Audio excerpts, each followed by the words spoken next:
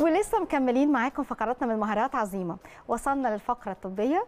لما أي شخص بيقرر إنه يبدأ رحلة ال diet دايما بيكون هناك تساؤلات كتير جدا ومحتاج لدكتور مختص يجاوبوا عليها. وعلشان أنتوا الفترة اللي فاتت كتبتوا آه وبعتوا أسئلة كتير آه، تسألونا سواء سواء على صفحتي الشخصية شيف عظيمة حمدي بالعربي أو آه، على صفحة شركة بايو بيستا فإحنا النهارده قررنا نخصص الفقرة دي لرد على كل أسئلة حضراتكم واستفساراتكم. طب بس خلوني في البداية آه، أرحب طبعا بضيفي اللي مشرفني ومنورني في الاستوديو دكتور علاء الدين أحمد أخصائي التغذية العلاجية. أهلا بيك يا دكتور. أحلى شيف. أهلا وسهلا بحضرتك. إزاي حضرتك؟ خليني بس قبل ما نبتدي في الحلقة النهارده نعزي أنفسنا ونعزي الشعب أيوة المصري. كله في حادث كنيسة إمبابة اللي حصل إمبارح. أيوه فندم وربنا يا رب يرحمهم برحمته آمين يا رب العالمين. شكرا يا دكتور لذوق حضرتك الحاجة الثانية الحلقة النهارده دي من أهم الحلقات اللي ممكن نعملها مع بعض. ليه؟ إحنا كل الهدف من اللي إحنا بنقدمه ده إيه؟ هم. إن إحنا بنقدم خدمة أيوه. للسادة المشاهدين. صح. تمام؟ مظبوط. يعني إحنا بنخرج من بيتنا وبنقعد نرتب ونذاكر ون... و- وحتى بيستا لما نزلت كان الهدف منها إن هي تحل مشكلة للسادة المشاهدين. صح. فبالتالي النهارده الحلقة دي أنا جاي وكل أذان مصغيه وأنا معاكم في أي سؤال وتحت أمركم في أي حاجة. ربنا يبارك فيك يا دكتور. طيب إحنا طبعا يعني هيبقى عندنا يعني تقرير معانا طبعا لكن في أسئلة. خلينا نسأل كده حاجات بسيطة من أسئلة المشاهدين. كنت عاوزة أعرف إيه السبب إن كل ما أعمل دايت لازم بشرتي ألاقيها بهتانة وناشفة وكذلك شعري ببقع كتير؟ تمام. السؤال ده على فكرة من أهم الأسئلة اللي إحنا ممكن نواجهها مم. لأن عشان كده إحنا حتى الهدف بتاع البرنامج بتاعنا إحنا إحنا بندي ثقافة غذائية مش نظام غذائي. تمام. وفرق بين الثقافة الغذائية والنظام الغذائي مم. أنا ممكن أديك نظام غذائي بس أنت ما عندكش الثقافة الغذائية فتلاقي نفسك وأنت بتعمل النظام الغذائي بتاعك تخش في مشاكل تانية. تمام؟ صح. عشان كده دايما إحنا بنقول إحنا المفروض تعمل واحد اتنين تلاتة أربعة. مم. بس إيه؟ ده ماشي matching مع النظام الغذائي بتاعك. تمام؟ مظبوط. طبعا هو مشكلة الناس اللي بتعمل diet بتعمل diet يعني بتمنع أكل مم. أو بتقلل كميات أكل مم. كمية الفيتامينات والمعادن اللي بتخش جسمك بتقل مم. تمام فبالتالي احتياجاتك من الفيتامينات والمعادن قلت فده بيظهر بقى في إن يبقى ممكن يحصل عندك بهتان ممكن عندك شحوب تحت العين ممكن يحصل تساقط في الشعر ممكن نفسك أنت مش قادر تمارس حياتك بصفة عامة وده اللي إحنا بنحاول نقول للناس لأ أنا مش همنع لك أنا هقلل لك. كويس. عشان كده إحنا دخلنا ببيستا تمام. فبيستا ببساطة شديدة جدا لأن هي مرتبطة بهذا السؤال. أنا مش بمنع عنك فيتامينات ومعادن لا أنا بديك الفيتامينات والمعادن اللي أنت عايزها بس أنا قلت لك الكميات ودخلت معاك بال Elp Multivit عشان المشاكل اللي بتتعرض. لها مش هتتعرض لها مم. دي حاجة جميلة من الشركة هنحكي طبعا عن لو لسه في حد منضم للفقرة ولسه بيشوفنا طيب عندنا مؤمن سامح بيقول كنت عاوز أعرف أكتر عن كورس التخسيس الصحي اللي عاملاه الشركة آه طب. حضرتك ممكن توضحه لنا؟ بس حلو قوي كورس التخسيس. ما دام بنتكلم على كورس يبقى بنتكلم على أكتر من حاجة الناس بتاخدها تمام حلو قوي الكورس ده عبارة عن حاجتين مم. حاجة بتاخدها قبل الأكل بنص ساعة مم. اللي هي بيستا أيوه. اللي هي اتفقنا قبل كده وقلنا إن هي عبارة عن مجموعة ألياف. الالياف دي منها في ألياف ذوابه وفي ألياف غير ذوابه ذوابة، آه. لما بنتكلم على مثلا سي ردة القمح دي بيسموها الألياف الغير ذوابه يعني ما بتدوبش في المية. مم. ودي فايدتها إن أنت مجرد ما بتاخد بيستا هتحس إن أنت ابتدى عندك دخول الحمام بيبقى بانتظام. ما بتعنيش من حتة الإمساك. وعلى فكرة الإمساك ده من من ضمن الحاجات اللي بتبقى منتشرة مع الناس اللي بتعمل diet. صح. تمام؟ صح. عل- حلت هذه المشكلة. وعلى كويس. فكرة دي بتبقى مشكلة مزمنة جدا وصعبة جدا خاصة من الناس اللي بيبقى عندها مشكلة في القولون. صحيح. اللي بيعانوا. أكتر صح وعلى فكرة هو المفروض مم. أي مريض ما يخشش في الإمساك حتى مريض السكر حتى مريض الضغط الإمساك بالنسبة له دي حاجة مش serious، كويس، حاجة مظبوط. ونيجي لما نيجي نتكلم بقى على الألياف الذوابه عندنا القمح والسيليوم أيوة. دي بيسموها الألياف الذوابه. الألياف الذوابه دي يمكن إحنا عملنا تجربة قبل كده اللي بيحصل إن أنت بتاخد بيستا بعد نص ساعة الألياف الذوابه دي بتنفش في معدتك مم. فبالتالي حجم المعدة اللي محتاج الأكل هيقل مم. يبقى كمية الأكل اللي داخلة هتقل. أقل مظبوط. ما منعتش. أيوه فاهمة حضرتك. أنا قللت. قننت بس مظبوط. الله ينور عليك. مش كده وبس. وجدوا إن ألياف الذوابه بتعمل إيه؟ بتحسن من حساسية الأنسولين لسكر الجلوكوز. وسكر الجلوكوز ده اتفقنا لما بيتخزن بيتخزن في صورة دهون. مم. فبالتالي أنا هنا اللي حصل أنا الأنسولين خد الجلوكوز من الدم دخله الخلية. مظبوط. وبالتالي إيه اللي بيحصل؟ اللي بيحصل إن الجسم ورغم ان انت بتاخد عامل نظام غذائي بس انت ما عندكش حتة الوهن. لا انت بتمارس نشاطك عادي جدا لانك بتاخد طاقة داخلية. كويس. وكمان الألياف الذوابه وجد ان هي بتقلل من امتصاص الدهون في الجسم. كويس. وضربنا مثال حضرتك لما بتروح تشتري حاجة لحوم مشوية. كبدة أو آه، بتاع ده كباب أو كفتة بيحطها لك على بقدونس. بقدونس عشان يمتص بتمتص الدهون. الدهون اللي هي. الألياف الايه. الألياف اللي هي الذوابه أيوه. على فكرة اتفقنا بيستا هي ميزتها إن أنت بتتكلم عن حاجات أنت بتشوفها. وسعرات أقل من الطبيعي اللي ممكن آه ناخدها طبعا. هو أنت خلي بالك هي ميزة الألياف الذوابه والغير ذوابه هي كربوهيدرات بس ما بتديش سعرات حرارية. كويس قوي تمام؟ وطعمها مقبول يا دكتور. آه خلي بالك لو بصيتي في العلبة هتلاقي إن هي لونها أخضر عشان هي طعم التفاح طعم التفاح. آه. فأنت كأنك بتشرب عصير واتفقنا ان إحنا بناخده على كوبايه ميه ساقعة عشان يزود الحرق. كويس. هل بيستا وقفت على كده؟ بدنا نتكلم في كورس. لا فيها كمان الكروميوم. الكروميوم دي هي already مادة موجودة في جسم الإنسان ولكن اتفقنا إن هي مع العادات السيئة للأكل وال social style بتاعنا اللي هو بيبقى تسهر والناس مش مش ما فيش مشي ما فيش exercise المادة دي بتقل. المادة الكروميوم دي أنا حاطه بس بنسبة 500 مللي جرام وده اعلى تركيز موجود. الكروميوم بتعمل إيه؟ حضرتك بالراحة كده. الكروميوم دي بتزود من حرق النشويات اللي هي بتمثل الكربوهيدرات تمام؟ فبالتالي أنا ما عنديش فرصة إن الكربوهيدرات تتخزن في جسمي عن طريق دهون تمام؟ دي رقم واحد. رقم اتنين بتحسن من حساسية الأنسولين للجلوكوز. كويس. فبالتالي أنا ما عنديش برضو فرصة إن الجلوكوز يترسب في صوره دهون. صح. هل بس وقفت على كده؟ لا. في فيتامين سي بقى؟ في فيتامين سي. فيتامين سي طبعا هو خد شهرة الفترة اللي فاتت إن هو مقوي للمناعة. وعلى فكرة هتكتشف برضو الناس اللي بتعمل diet مناعتها بتضعف لأن الفيتامينات والمعادن قلت لا أنا بقول له لا أنا هديك فيتامين سي فأنا زودت المناعة بتاعتك كويس. بالإضافة إن هي بتزود من معدلات الحرق بالإضافة إن هي بتزود من امتصاص الحديد. لأن برضو بتواجهنا مشكلة زي ما حضرتك قلت في السؤال الأولاني إن ممكن تلاقي فيه شحوب شحوب. وهالات آه. وحاجات ده بيرجع أصلا لأن ممكن تكون دخلت في أنيميا. أنا بقول له لا أنت مع بيستا لا لأن الفيتامين سي اللي موجود في بيستا هيزود من بيعوض. امتصاص في الحديد. جزء بيعوضه طبعا. بيعوض بيزود امتصاص الحديد. كويس. اي كمية حديد هتاخدها هيمتصها آخر حاجة فيه ال كارانتين ال كارانتين ده اللي هو بيحرر الطاقة اللي موجودة في العضلات مم. فبالتالي أنت بتستهلك طاقة داخلية مش طاقة من الأكل مم. دي بيستا بكل بساطة ما. دام اتكلمنا على الكورس يبقى نخش بقى في قلب multivit اللي هو بتاخده بعد الفطار بنص ساعة مجموعة فيتامينات مجموعة فيتامين B complex مم. فيتامين B complex يجي على رأسها فيتامين B 12 B 12 ده اللي هو مريض السكر دم بيبقى ماشي عليه وبالإضافة إن هو بيزود من حتة حرق الكربوهيدرات التمثيل الغذائي للكربوهيدرات يعني مش. هيتخزن. عندي الزنك الزنك معروف دايما إن هو هو حاجة ليه في المناعه في الزنك عن أنواع أخرى الشعر موجودة لأن طبعا الناس اتفقنا حضرتك في السؤال الأولاني برضه الناس بتسقط شعرها بتعمل أيوة، نظام. رجيم فأنا هنا بدي الزنك تمام عندي مثلا سيل folic acid ده مصدر أساسي من الحديد عشان الناس ما تخشش في أنيميا صح. عندي الكالسيوم الكالسيوم الناس على فكرة هتلاقي إن القلب multivit هو أصلا من وجهة نظر أنا هو اتعمل عشان الناس اللي بتعمل نظام غذائي. بالإضافة إن هو بيقوي القلب بالإضافة إن هو بيقوي المناعة آه. بس هو أصلا معمول كده ليه آه. لأن مشكلتي مع الناس اللي اللي بتعمل diet بتسيب نفسها توصل للمرحلة دي وبعدين. تبدأ فأنا لا بقول له لا. خد. إحنا. دلوقتي بناخده من الأول بقى. تمام. آه. طبعا في فيتامين سي في النحاس. آه. يمكن إحنا اتكلمنا عن الحاجات دي بالتفصيل تمام. ويمكن في سؤال تاني ممكن آه نستعرض الحاجات دي. طب في سؤال يا دكتور؟ اتفضلي. سندس صلاح بتقول هل بيستا ينفع نستخدمه الناس اللي عندها خمول في الغدة الدرقية؟ الله الله على السؤال ده. امم بصي.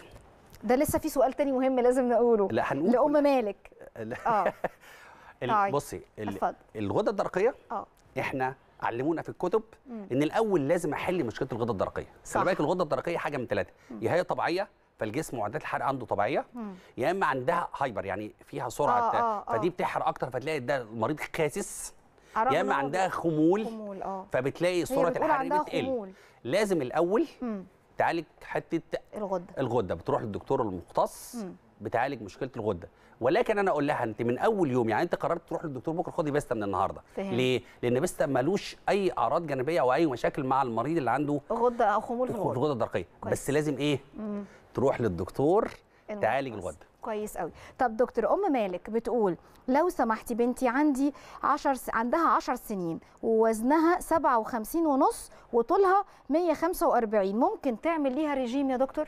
بص حضرتك من خلال خبراتنا 10 آه. سنين دي في مرحلة البناء. مم. إحنا هنمشي مع بعضينا في ثلاث خطوط متوازية. مم. الخط الأولاني إنها لازم تلعب رياضة على كويس. فكرة. لازم تمارس رياضة. تمام. الحاجة الثانية لا ما تعملهاش نظام رجيم. مم. ليه؟ لأن أنا نظام رجيم ودي بت بتكون جسمها فأنا همنع فيتامينات ومعادن وحاجات أساسية لازم تاخدها لا. مم. ولكن أنا أعمل إيه؟ أنا لما هديها بيستا هخليها قابليتها للاكل تقل. هي كلت. بس قابليتها للأكل قلت. يبقى وندعم هنا- بقى بالفيتامين. بقى اللي هو القلب multivit تعرف آه، تبلع تاخده. تمام. يبقى هنا اللي بيحصل إيه؟ نصيحة مني. مفيش حاجة اسمها رجيم للأطفال انما في بالذات حاجة اللي في سن النمو إنما آه. في حاجة اسمها إيه؟ إن أنا أقنن الأكل أقنن اقلل الكميات مش همنع كميات. تمام. طب أنا بقى عندي مشكلة في الطفل. مم. هقول له إزاي ما تاكلش؟ فأنا بقول له لا خد بقى باكو بيستا كده خده. لما ياخد باكو بيستا هو من إيه اللي نفسه. هيحصل؟ هو من نفسه كميات أكل. هتقل. آه. بالإضافة إن هو يلعب رياضة. ضروري جدا يلعب رياضة. طيب يبقى أنا هنا بكون الدهون اللي عنده حرقتها وخليت جسمه يتكون بطريقة مثلى حلو قوي. تمام أنا معاك جدا في في الرأي ده يا دكتور وبشكرك عليه. الله طب يخليك. اسمح لنا إحنا معانا تقرير هنشارك أصدقائنا لسه بيشوفونا. معانا آه، حالة إسراء. إسراء آه، ما هتقول لنا يعني تجربتها مع بيستا. خلينا نطلع مع بعض نشوف التقرير ونرجع نستكمل مع دكتور علاء.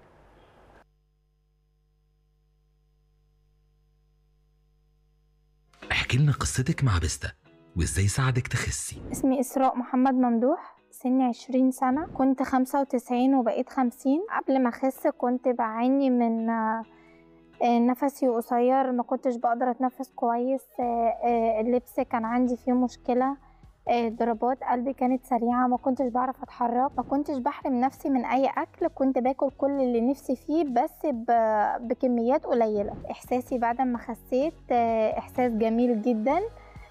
بعرف ألبس براحتي وبعرف آه، آكل اللي أنا عايزاه وأتحرك وجسمي بقى خفيف جدا. أنصح أي حد ي- جسمه مليان آه، إن هو يتابع مع بيستا آه، موضوع سهل جدا.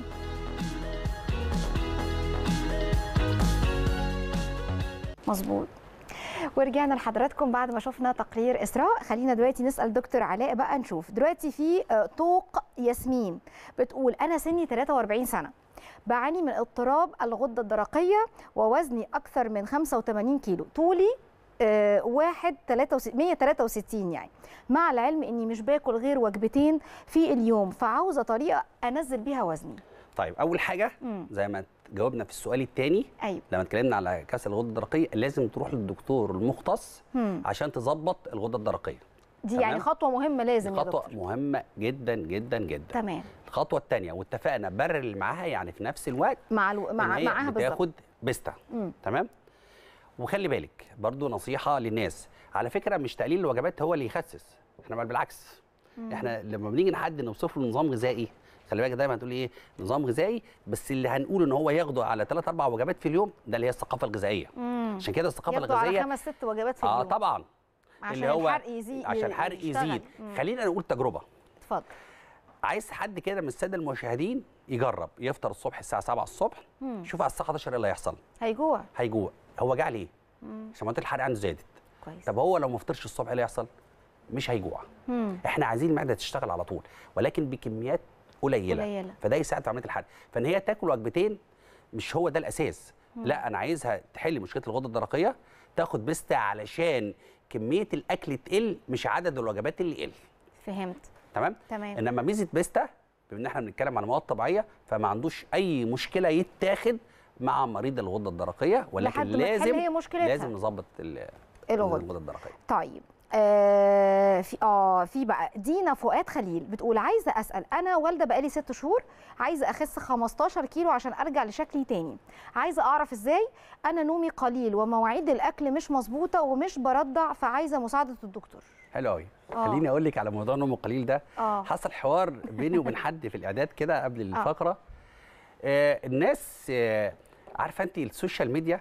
أيوة. الناس بتقعد آه. الموبايل ممكن يبقى شغال جنبيها وهي نايمة. أيوه فتنام ساعة وتصحى ساعة ده غلط جدا تمام إحنا دايما بنتكلم على ال deep sleep مم. اللي هو النوم العميق النوم مم. العميق يعني إيه يعني أنت تطفي نورك كده وفي جو هادي هي رومانسي يمكن عشان لسه والدة يا دكتور. فالطفل ده. ينام وقت ما ينام وتصحى وقت ما يصحى بشير ده موضوع يذكر صعب. برضه على فكرة المفروض الطبيعي إن في أثناء فترة الرضاعة مم. عمليات الحرق بتزيد صح لسببين مم. السبب الأولاني إنك المفروض إن هي بتشرب سوائل كتير مم.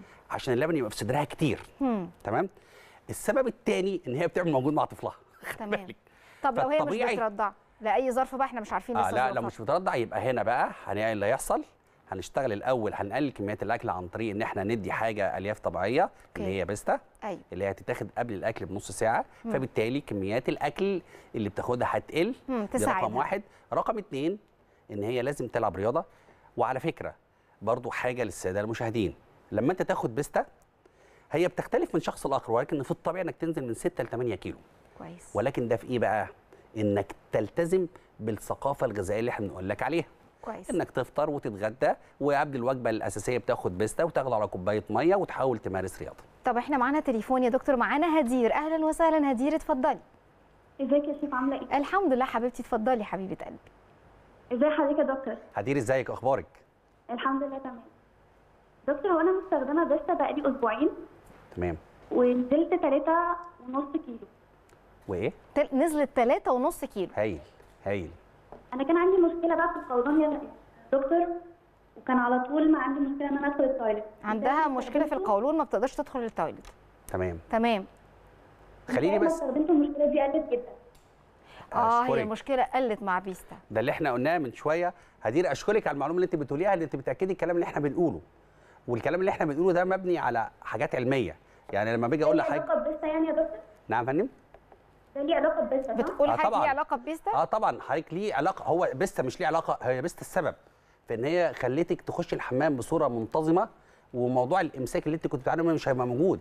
برضه ليه؟ هل الكلام ده نظر لا الكلام ده عملي لأن هي مكونات بيستا فيها الألياف الغير ذوابه اللي هي ردة القمح وردة القمح معروف إن هي بتتحرك بتنزل من تتحرك من المعدة للامعاء بصورتها الطبيعية فبتخليكي تخش الحمام بصورة منتظمة. طب ليكي سؤال يا هدير معين عايز تسألي عليه الدكتور؟ أنا كنت بس عايزه أعرف هل ده ليه علاقة ببيستا ولا لأ؟ آه مش ليه. علاقة هو بيستا بحاول السبب. أدوية كتير وما كانش لا لا لا لا هي مش ليها علاقة هي بيستا السبب. في فرق بين علاقة لا بيستا السبب وعلى فكرة برضو دي أشكرك يا هدير على السؤال ودي حاجة للسادة المشاهدين إن أنت من أول مرة تستخدم فيها بيستا أنت فعلا هتحس بإن دخولك الحمام اختلف. شكرا طيب يا دكتور دي حاجة ميرسي يا هدير لتليفونك جدا. طب دكتور بقى لو هدير عايزة تحافظ على ده بعد مثلا ما هي وصلت لوزنها المثالي تمام. وأخدت بيستا تعمل إيه؟ تبقى بقى أكلاتها فيها حاجات آه، ألياف نسبة ألياف؟ عايزة تثبت وزن يعني؟ آه. ولا إيه؟ بص حضرتك ما هو بيستا بص أقول لك على حاجة. أصل السؤال ده كمان جاي لي فأنا بس. فرصة بقى إن هدير فتحت إحنا. إحنا ليه ليه السمنة زادت الفترة الأخرانية. من ضمن الأسباب الأساسية هي ال fast food. Okay. يعني إيه fast food؟ يعني أنت بتاخد وجبة أساسية لا تحتوي على الألياف على. فكرة. أيوة فيها صح. نسبة عالية من الدهون المشبعة. طبعا طبعا. واخده بالك انت فده وممكن ما يبقاش وممكن يبقى فيها بروتين شوية إنما مثلا ممكن ما تلاقيش فيها كربوهيدرات ما فيهاش ألياف. مم. فأنا بقول له لأ خلي بالك بقى. أنا بخلي أسلوب حياتك يبقى فيه ألياف عن طريق بيستا كويس. فبيستا هنا ممكن تبقى على فكرة تبقى style حياة. مم. يعني أنت تبقى habit في حياتك إنك بتاخد بيستا. لأن إحنا بناخد fast food طب إحنا معانا فاطمة. أهلا يا فاطمة. أهلا يا شيف اتفضلي حبيبتي لو ليكي أي سؤال دكتور معاكي. إزيك يا فاطمة؟ الحمد لله إزيك يا؟ فاطمة؟ الحمد لله رب العالمين. أنا بصراحة يعني كنت جربت منتجات كتير قوي. يعني بصراحة كانت بتعمل لي أعراض جانبية كتير فأنا كنت قلقانة قوي إن أنا أجرب بيستا. بس آه، بعد ما جربته يعني لقيت إن الحمد لله في ثلاث أسابيع أنا نزلت تقريبا 6 كيلو ونص. كويس. الحمد لله قبل كده يعني كان بصراحة بيحصل لي حاجات كتير يعني كان ممكن يحصل لي أرق مثلا أو كان بيجي لي اكتئاب كده من اللا شيء. فالحمد لله يعني كنت قلقانة بس الحمد لله لما جربته ما حصليش أي حاجة من الأعراض الجانبية دي. لسه ما كملتش الشهر يعني لسه ما أعرفش هو هيكمل معايا على إيه ومش عارفة هبقى محتاجة أنزل قد إيه تاني. مم. بس في العموم يعني في أول ثلاث أسابيع بصراحة أنا نفسي بقت بتتسد وأنا كنت باكل كتير قوي. أوكي. فبصراحة يعني عايزة أشكركم عليه. لأن هو كويس جدا. هو يعني أتمنى الناس كلها تجربه يعني. بص يا فاطمة اولا أنت عايزة تنزلي قد إيه المعادلة بتاعتنا اللي هي مؤشر الكتلة إن أنت بتجيبي الوزن على مربع الطول بالسنتي بمعنى آخر إن أنت دلوقتي هت... هتحسبي المعادلة. دي هتجيبي وزنك دلوقتي على طولك لو طلع أكتر من 25 هتقولي أنا محتاج أنزل 10 كيلو وتعملي المعادلة دي برضو. لما أنزل 10 كيلو يعني مثلا سي وزن 76 بقى 66 قسمته على طولي. هل كسرت. ال 25 من تحت؟ يبقى هو ده التارجت بتاعك. لا أكتر من 25 يبقى هتقولي أنا محتاج أنزل بدل 10 انزل 12 كيلو. معادلة يعني سالي نفسك في المعادلة دي الأول حطيها جايد ليكي وامشي عليها. دي اللي هي معادلة مؤشر الكتلة. خلينا نقول بس فاطمة، شكرا يا فاطمة. خلي بالك يا فاطمة قالت حاجة أنا كنت قلقانة خدت حاجات كتير آه، قوي هي أنا واضح إن هي أنا بديك حاجات منتجات طبيعية. مصادر الطبيعيه مم. في صورة سهلة ممكن تاخدها. تمام. فبالتالي أنت مش قلقان خالص. طب دكتور قول لنا. نحصل عليها إزاي؟ هو لسه ماجده أحمد بتقول أقدر أجيب كورس التخسيس اللي هو بيستا ومالتي فيت منين؟ وهل في توصيل لشرم الشيخ؟ آه هو في توصيل آه، من على رأي المثل من أسوان لمرسى مطروح. في في في كل حتة مش مشكلة خالص. تمام. والأرقام موجودة أعتقد على الشاشة. لو أنت عايز بيستا أو إلب مالتيفيت سهل قوي إن إن توصل لها. وموجود في بعض الصيدليات الكبرى. كويس سواء كان بيستا أو إلب مالتيفيت ولو لا قدر الله مش متواجد في الصيدلية اللي جنب حضرتك ممكن. هو في كود كمان للصيادله خاص من خلال أرقام الشركة الصيدلي يقدر يطلبه آه، ويوفره يعني أنت قدامك يا إما تتصلي آه، بالشركة, بالشركة مباشرة أو- وكلمة آه. السر بس تقول لهم شيف عظيمة دي رقم واحد رقم اثنين يا إما انت في صيدليات معينة لما تتصلي هيدوا لي يقول لك روحي هاتيها من الصيدلية اللي جنبك يعني. مظبوط أقرب مكان لحضرتك فين؟ في شرم الشيخ. طيب يا دكتور إحنا طبعا آه، يعني اخذنا مجموعة أسئلة النهارده لا بأس بها جات لحضرتك. آه، بشكرك طبعا جدا جدا. وخلينا بقى نقول بالنسبة للأطفال إحنا نبدأ بس بيستا عشان معلومة سريعة للأمهات اللي عايز يبدأ في بيستا من الأطفال من عمر كام بص حضرتك إحنا بما إن إحنا بنتكلم عن مصادر طبيعية فما عنديش مشكلة في الطفل مم. بس أنا بس بقلق من حاجة بس حاجة واحدة بس مم. إن الأم تعتمد على بيستا من غير مم. ما تمارس رياضة مم. بس ده القلق تاخد بيستا ما فيش مشكلة خالص إحنا بنتكلم على المصادر الطبيعية مم. مجرد ما الطفل يتقبله.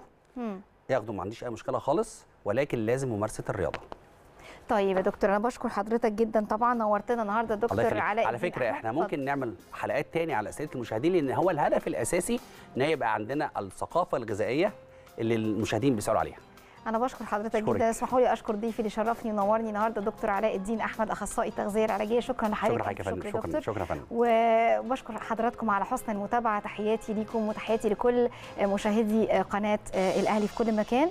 وطبعا الوقت بيعدي مع حضراتكم بسرعة. في النهاية أتمنى من الله ولا يكثر على الله أشوف حضراتكم من هنا الحلقة جديدة. على ألف خير وصحة وسلامة وسعادة. وسلام عليكم. عليكم السلام.